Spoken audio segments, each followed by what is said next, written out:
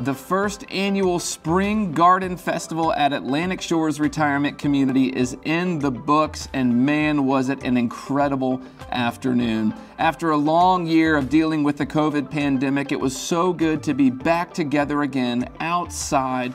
Together, our residents, our resident ambassadors, and so many guests flocked to Red Wing Point for a beautiful afternoon outside. We saw tons of craft vendors coming and setting up tables at the community, doing art demonstrations and teaching classes for residents and selling some incredible handmade goods. A local farmer's market was set up in the pavilion for residents and guests to buy great food, and then we had phenomenal entertainment provided by one of the best bands in town, Guava Jam.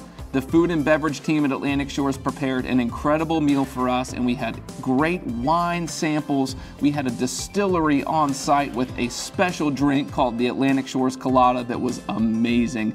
And at the end of the day, we were so thrilled to be back together again. This will absolutely be an event in 2022 that you do not want to miss.